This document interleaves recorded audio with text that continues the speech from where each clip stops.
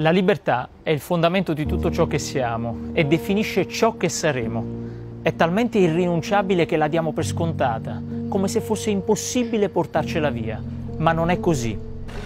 Oggi le autocrazie proliferano, le democrazie vacillano e sempre più donne e uomini sono privati dei diritti della felicità in nome di false ideologie. L'Occidente è l'ultimo baluardo di libertà. La nostra Europa è minacciata al suo interno e ai suoi confini da chi non condivide i nostri valori. Va difesa la libertà, perché è alla base della nostra prosperità.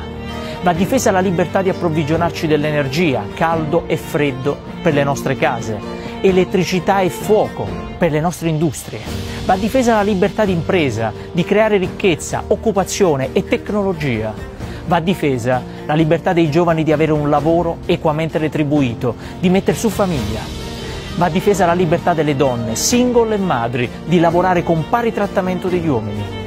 Va difesa la libertà delle famiglie, di far figli, di crescerli, di istruirli, di farli viaggiare.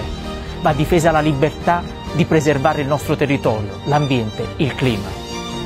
Va difesa la libertà dei più vulnerabili e delle minoranze senza discriminarne la religione, l'orientamento sessuale o il colore della pelle.